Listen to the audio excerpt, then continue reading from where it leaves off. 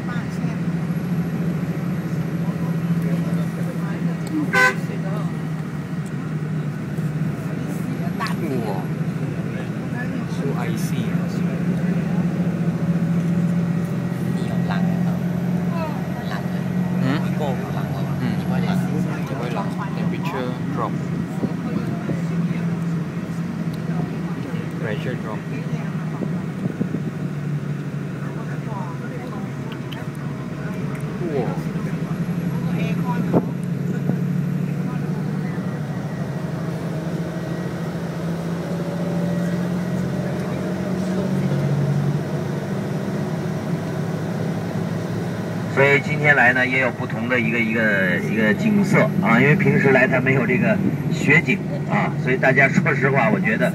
这个这个虽然我们昨天没有来，今天但总算到了啊，也算一个一个特色啊，有这个这个雪景啊，我们也很少能看到这样的，对。哇！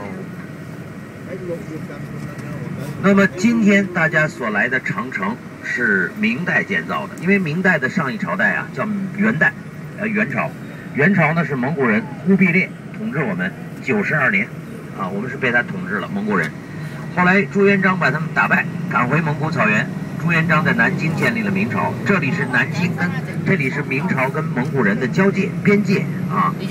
那么这里这个山的后边，在明朝就是蒙古人的地盘，所以这个朱元璋啊。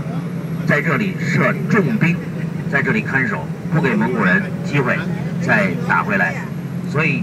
明朝的皇帝才在这个山上建造长城，来抵御来自蒙古的侵略。啊，这个地名跟您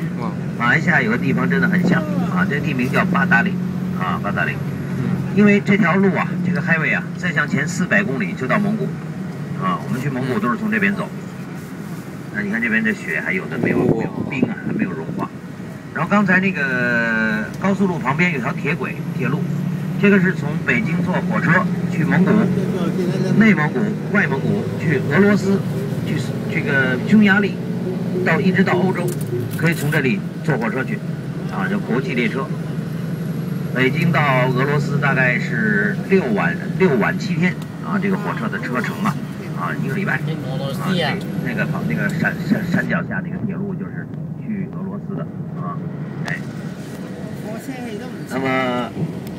这个前面我们待会儿要到的这一段呢，叫八达岭居庸关长城。嗯。